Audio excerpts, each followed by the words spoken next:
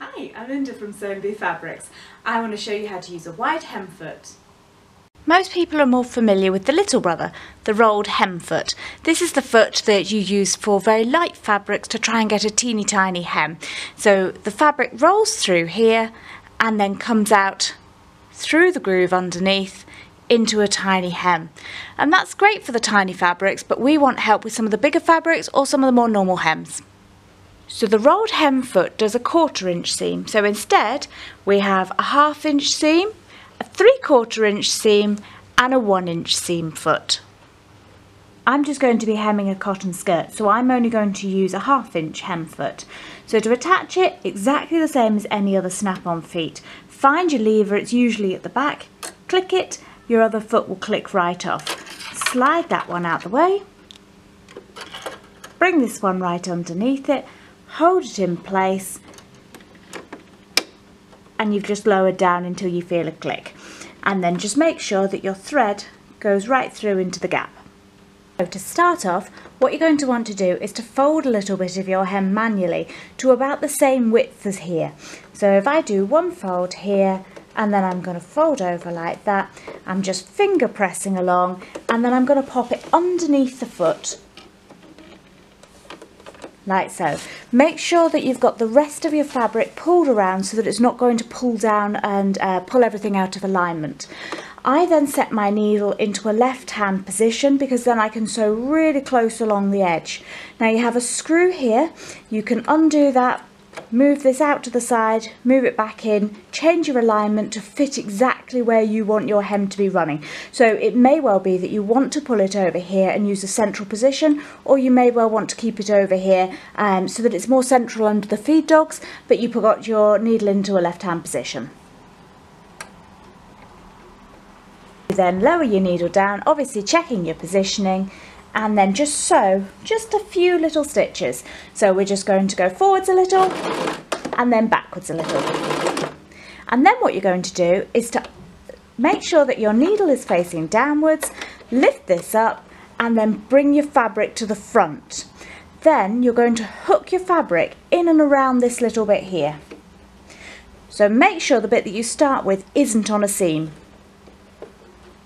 It takes a moment of wriggling and then you'll see that that comes through nicely. Just make sure that you haven't got any big creases anywhere. So just make sure that you've done a bit of a wriggle because that's what will get you a nice clean start. Then lower your presser foot down and then you're good to sew.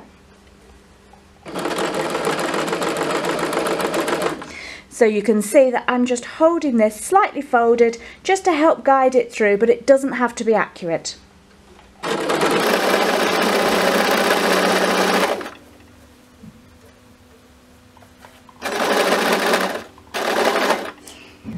And once I come across to um, a French seam I've done here, you can see it's a little bit tougher, it's a little bit more tricky to go through. If you find that it doesn't want to go through at all, then that's not a problem. Or just lower your needle and then slide it back out again, making sure that you've got your presser foot lifted back up. So pull it out from around here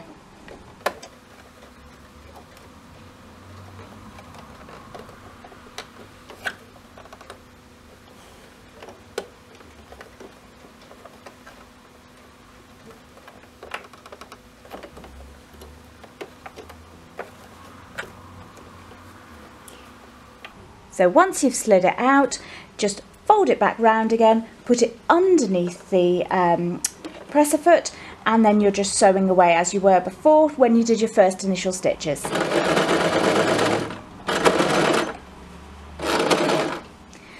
Stop again with the uh, needle down, lift it up, thread back through, and you're good to sew again.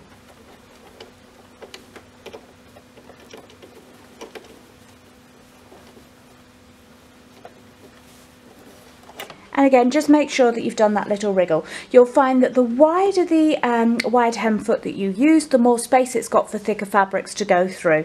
So you won't need to do this as much if you're going to use a wider hem at the bottom. But because this is just for um, a toddler sized skirt, I don't want to make it look too heavy. Now if you spot it starts to slip out, don't worry. It's not the end of the world, it just means that you hadn't jiggled it quite right or maybe you weren't feeding through quite enough fabric to start with. It's always better to feed through a little bit too much than not enough because it will just move out the way any fabric that you don't need. So if you get into that situation, just stop, lift up your presser foot, push it through from here.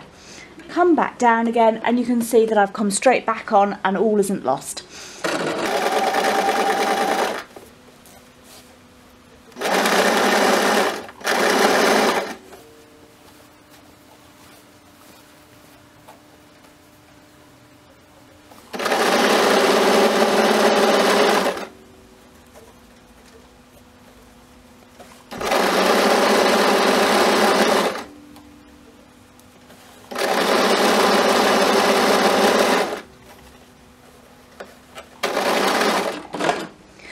So I'm coming up to my seam again. I know that it doesn't fit through very easily, so this time I'm just going to stop just before.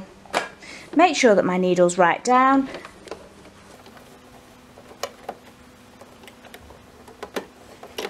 Pull it out, curl it over.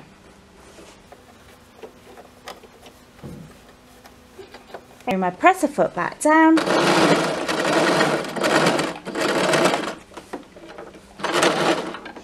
I've stitched right over that so I'm ready to feed it back through again.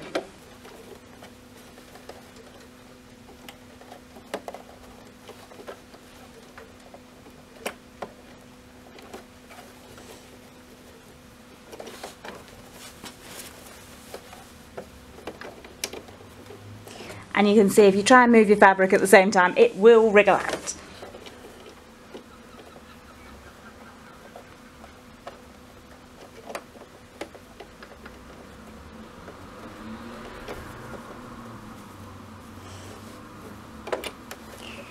Okay, and we're ready to sew again.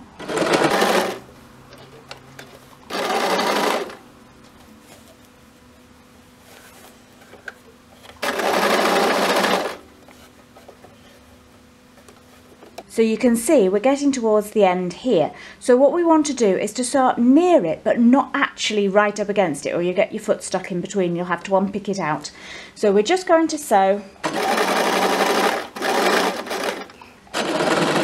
to about here and again needle down, slide it back out and bring it underneath the foot, bring it in line and then meet up to join your other piece. And it's as simple as that. So you can see here we've ended up with a lovely neat hem that's also looking nice and neat from the other side. And if you found that helpful, don't forget to hit subscribe and we'll bring you more sewing tutorials soon.